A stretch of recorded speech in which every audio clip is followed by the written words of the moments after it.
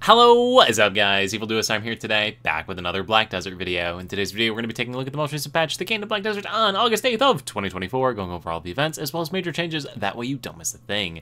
This week's patch brings a couple of cool little events, as well as some tweaks to the game, so yeah, quickly before we get into it, if you're new to the channel, to Black Desert, or you've been watching videos on the channel and still have not subscribed yet, please consider it. It helps to grow my channel, you stay up to date with new content, and we both win in. Without further ado, let's get into it and start off with this week's events like we do every single week. And the first event can be seen at the top of your screen right here, this daily special icon. You will see that we have 14 days worth of login rewards right here.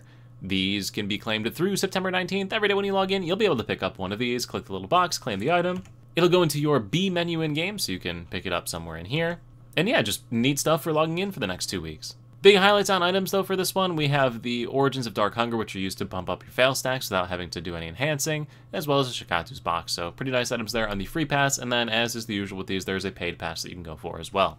The next event can also be viewed in-game by hovering over the top of your screen. You will see the EXP Boost event in progress item up here, so 50% to all life skills, 500% to combat EXP, and 200% to skill EXP. Trading life skill exempt from this as well as a 50% drop rate, so if you're trying to farm up any infinite potion pieces or anything like that, treasure items, any rare items, now is a good time to do it, and it'll just be bonus money while you're out there playing as well. So this event will be running through August 29th, so we have three weeks of it, which is pretty cool. Get out there, take advantage of it, and, uh, you know, just do the best you can with it. Now, the next event is themed for guilds, so for those of you that are in a guild, your guild missions are now going to have bonus reward items available in them. Specifically, you're going to be looking for the missions that have the event tag in front of them, so none of the ones on the server I'm on right now have it, but uh, the event tag is going to be the event missions for this event going on. Events running through August 22nd, so over the next two weeks, bonus bonus guild quests.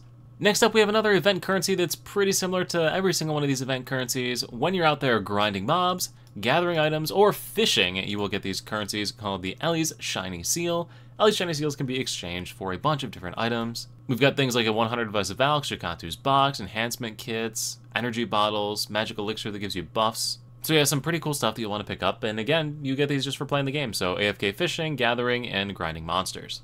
And the final event is more of like a real-life themed event. For this one, what you're going to need to do is make sure you're signed up for the Black Desert newsletter. You're going to get some codes that are sent to you via the newsletter, send those to your friends who haven't played in a while, or maybe even new players, and if they reach certain in-game requirements, then they are going to give you rewards, which include an outfit box, and some other enhancement items and whatnot. So uh, if you have some friends you've been trying to get into Black Desert, or you've got some friends that have stayed away for a while, uh, take advantage of them, send them over some codes, and uh, pick up yourself some free in-game stuff. But that is it for the events themselves. We can now move on to the patch notes, and the patch notes uh, don't have a ton with this one. A couple little tweaks to the Sorceress class.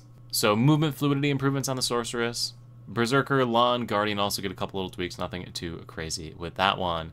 Moving on a bit further into the patch notes, the first big change here for those of you that are still working towards your Jatina items for your exchanges to get those gear pieces that I highly recommend going for as a newer player, uh, you can go a little bit faster now with them. You can exchange for 180 crystals at 3 latent boss aura, so will allow you to get the items that you need for upgrading the gear a little bit faster. Pretty neat uh, for those that are trying to catch up in the game, newer players, and all that sort of stuff. You can also now extract things like your Garmoth's Heart from a Caphras enhanced item without needing to extract the Caphras stones first, which is also nice for those of you that are trying to swap builds or rebuild your character or something like that.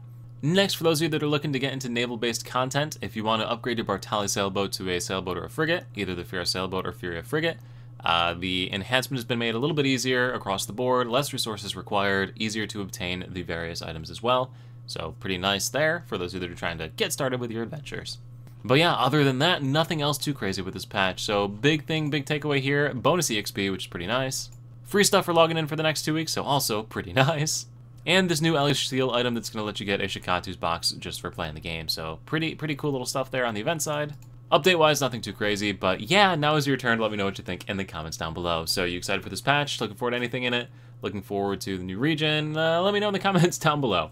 Thank you all so much for watching. I look forward to seeing you at the next YouTube video, the next Twitch live stream, or wherever I happen to see you. Bye.